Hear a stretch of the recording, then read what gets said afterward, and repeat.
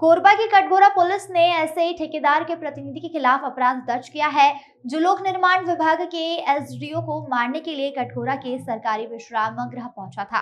ठेकेदार प्रतिनिधि के मार्गदर्शन में न्यायालय परिसर में घटिया सीसी सड़क का निर्माण किया जा रहा है, जिसके निरीक्षण के दौरान एसडीओ सतीश चंद पांडे ने ठेकेदार प्रतिनिधि राजू अग्रवाल उर्फ़ राजू नारियलवाला को सुधार कार्य करने के निर्देश दिए। अधिकारी के निर्देश पर ठेकेदार के प्रतिनिधि ने सुधार कार्य तो करवा दिया, लेकिन अगले दिन राजू नारियलवाला सरकारी विश्राम गृह पहुँचा, जहाँ एसडीओ नहाने की तैयारी कर रहा था। इस दौरान राजू फ़ोन पर किसी से बात करते हुए एसडीओ को जान से मारने की धमकी देने लगा, जिससे डरकर एसडीओ ने खुद को कमरे में बंद कर लिया।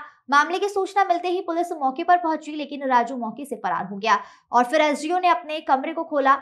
पुलिस ने शिकायत के आधार पर ठेकेदार के प्रतिनिधि राजू अग्रवाल उर्फ़ राजू नारियलवाला के खिलाफ विभिन्न धाराओं के तहत प्रकरण दर्ज कर लिया है। मनोज दिनकर की रिपोर्ट।